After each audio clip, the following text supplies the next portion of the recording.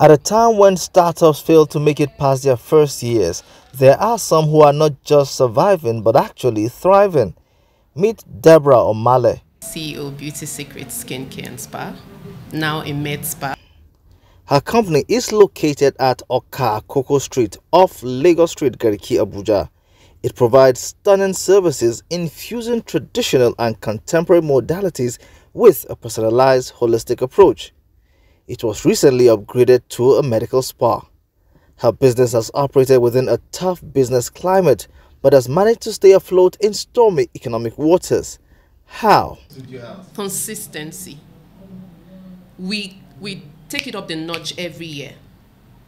So what we have now was not what was here last year was not what was here a year before. Um, because when people are used to being treated the way they deserve to be treated, especially in business, you find that they will come back no matter what is happening. The sales might fluctuate and not be the same, but you definitely have um, a steady group of people that will always patronize you, that will always come to you. So for me, I think that's one thing that has helped us survive. Exceptional service.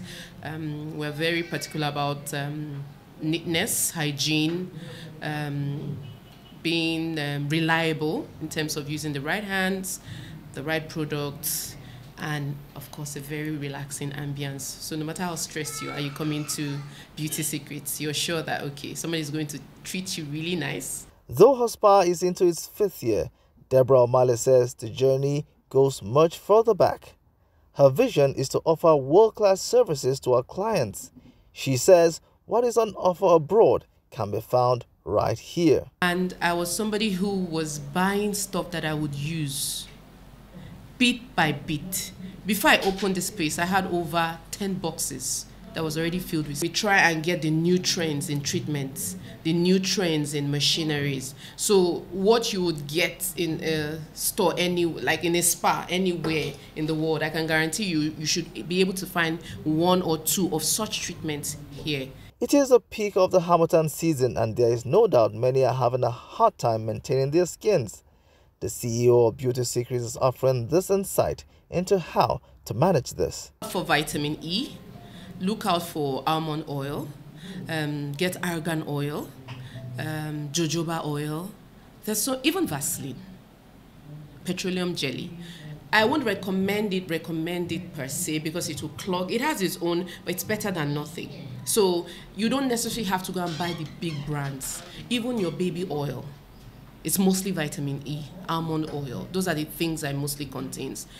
If you can get, just start with the basics of this.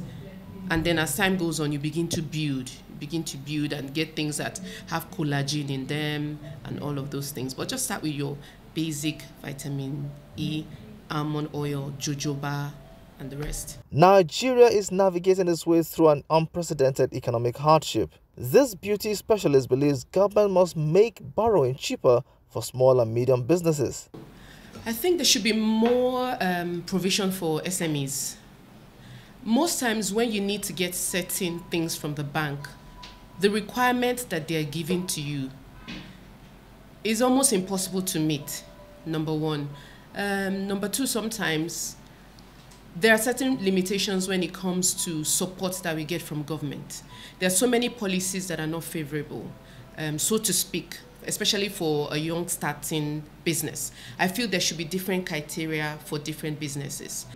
She's also calling for the elimination of multiple taxes so businesses like hers can grow.